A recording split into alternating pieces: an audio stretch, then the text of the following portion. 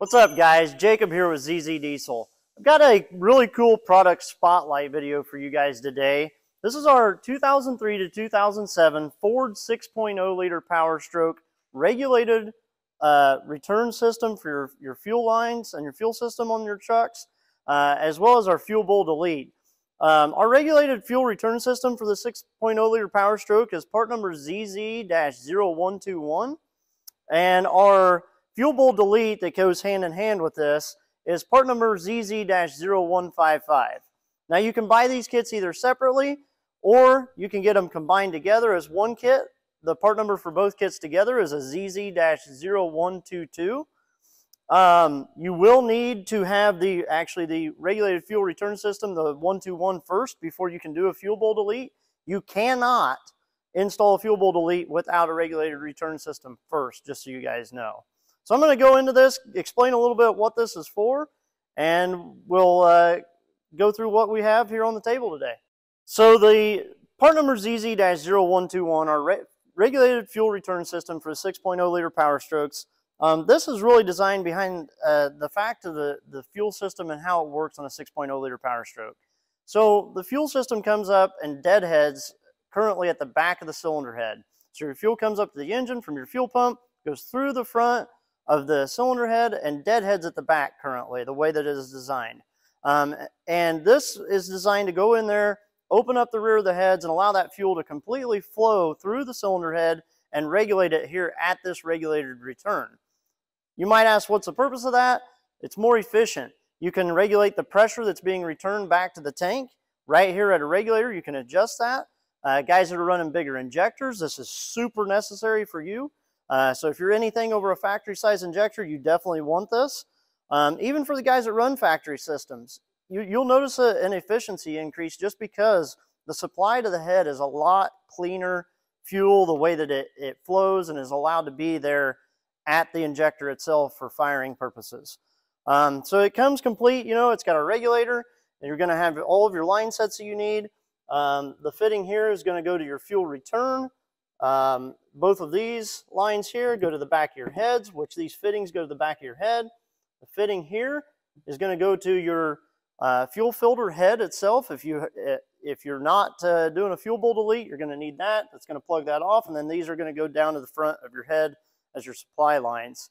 So that's part number ZZ-0121. Now, moving over here to ZZ-0155, like I said, I'm going to repeat myself though because there's a lot of guys that think they can do a fuel bowl delete uh, without having some kind of regulated return system. It's not really possible. There's no way to do that.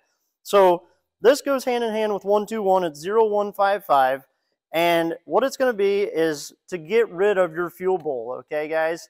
Um, what that means is you would have to cut off your factory fuel filter uh, location, and this is going to supply it directly. This is going to be more so for you guys that are running an aftermarket fuel system with filters, a FASS, an Aeromotive setup that's custom, maybe a Fuelab, uh, it could be an AirDog, depends whatever you're running there. Any kind of aftermarket fuel system, you may want this fuel bowl delete because there's no reason to have all that extra restriction up there.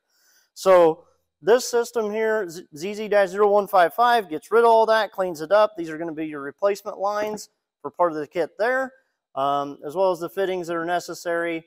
So this supply line, guys, on the, the fuel bowl delete is going to be kind of universal. This, this whole system here, when you delete your fuel bowl, uh, is going to really be based around your setup and your truck. Like I said, different fuel pumps is going to change it, whether it be FASS, AirDog, uh, Aeromotive or a Fuelab system with filters on it.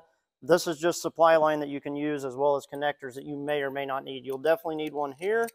Obviously, this goes to your lines um, here and here. But as far as your other connection back of your pump, you may or may not use this fitting.